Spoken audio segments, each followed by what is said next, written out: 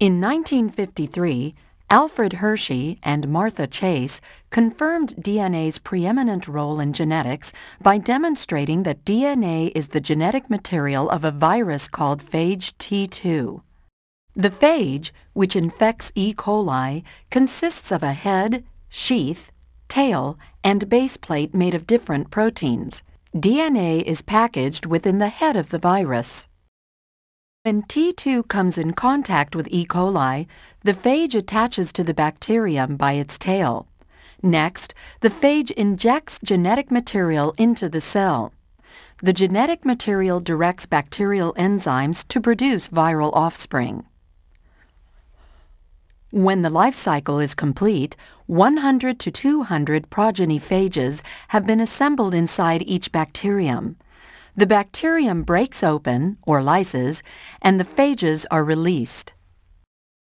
Since T2 consists of only DNA and protein, Hershey and Chase reasoned that the genetic material must be one of the two components, so they designed an experiment to determine which it is.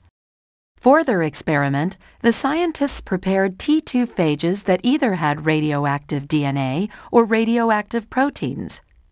To make the components radioactive, Hershey and Chase infected E. coli with T2 and grew the bacterial cells in two different culture media, one containing the radioactive isotope phosphorus-32 and the other containing the radioactive isotope sulfur-35.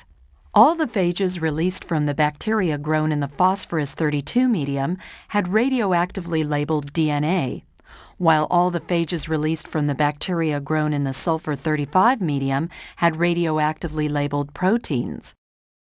In the next phase of their experiment, Hershey and Chase infected E. coli with the two types of labeled T2. They then used a blender and a centrifuge to separate the protein parts of the phage, called the phage ghosts, from the rest of the infected cell. The scientists discovered that the labeled DNA appeared in the host cell, but not the phage ghosts, while the labeled proteins appeared in the phage ghosts, but not the host cell. In addition, the progeny of the T2 with labeled DNA were radioactive, while the progeny of the T2 with labeled proteins were not radioactive. Because genetic material is passed on from parent to offspring, Hershey and Chase concluded that DNA had to be the genetic material of T2. Their results helped convince the scientific community that DNA was the hereditary material.